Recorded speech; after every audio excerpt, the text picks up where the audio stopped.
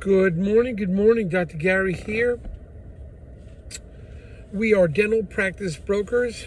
name of our company is Healthcare Practice Sales. We're dental practice brokers nationwide. Today's topic is uh, out of the ordinary a little bit. It is beware of crime at or near the dental office. Recent experiences. So we now have 22 states that we represented in, and we have nine employees. We're very excited, leaving for New Mexico next week. Let's hope it's a great week. We have four or five offices to see between uh, Albuquerque, Santa Fe, Taos, that region. Uh, kind of really excited about it for it. Then we um, are now available to you from 7.30 in the morning East Coast time till 9.30 at night. Please give us a call. We're working every single day except Christmas and Easter, so you can reach us. If you want advice, just have a chat, buyer or seller, call us. Our contact number is 201-663-0935 and our website is dentalpracticeguide.com.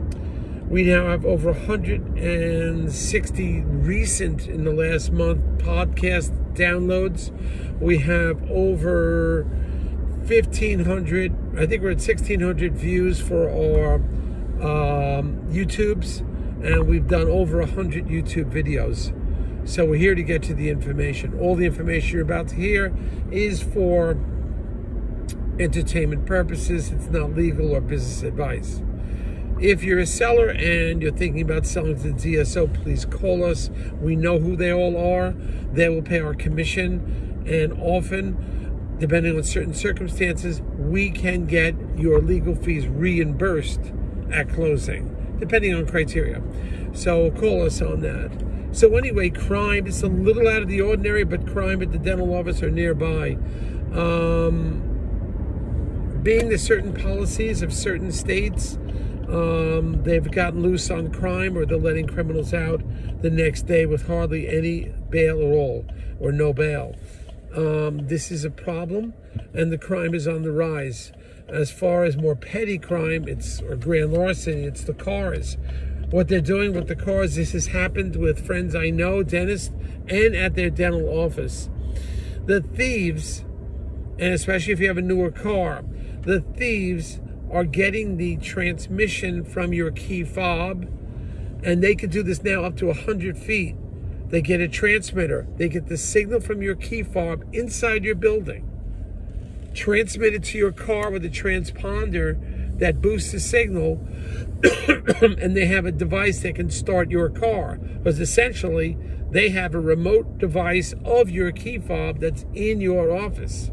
Now, a way to simply prevent this is you buy a Faraday bag. It's on you. Uh, it's on uh, uh, what do you call it? It's on Amazon. You put the key fob in aluminum foil.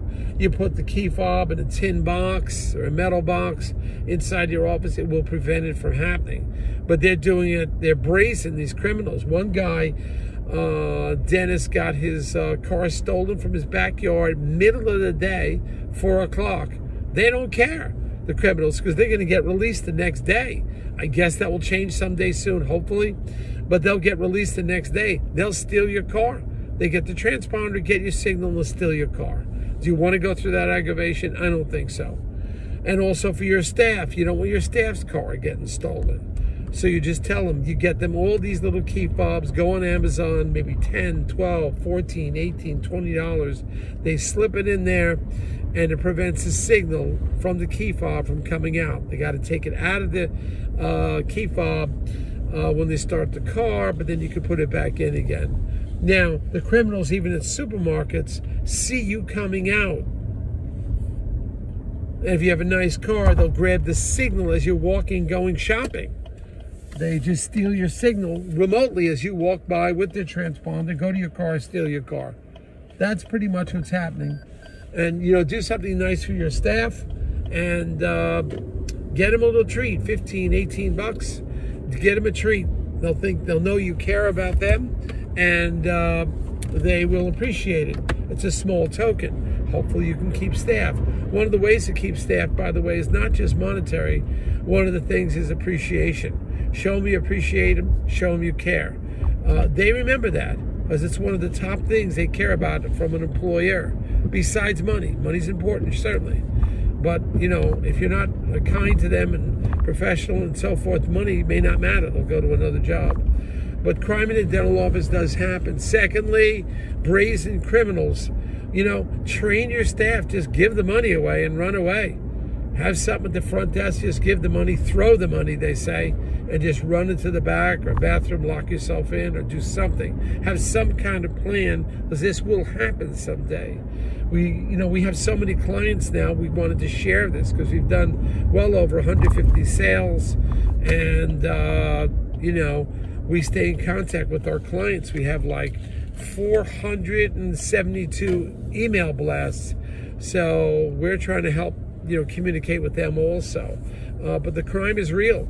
Have some of those mace sprays up front if you get into an assault situation.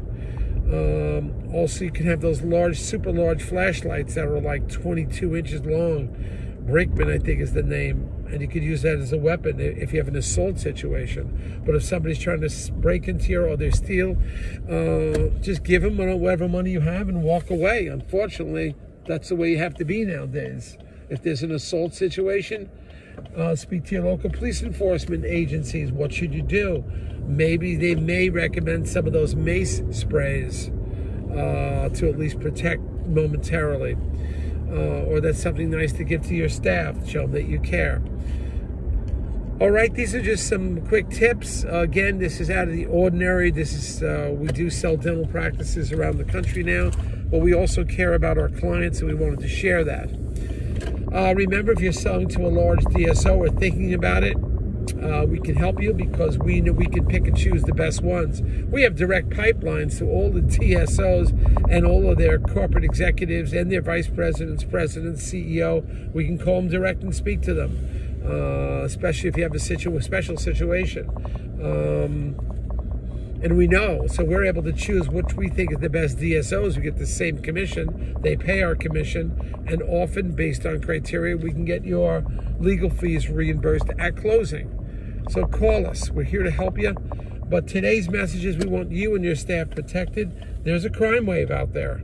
And uh, we don't want to get political, but we just want to tell you experiences that we're seeing from our clients nationwide. We want you, as our clients, protected uh, and protect your possessions that you have. All right? Thank you. Bye.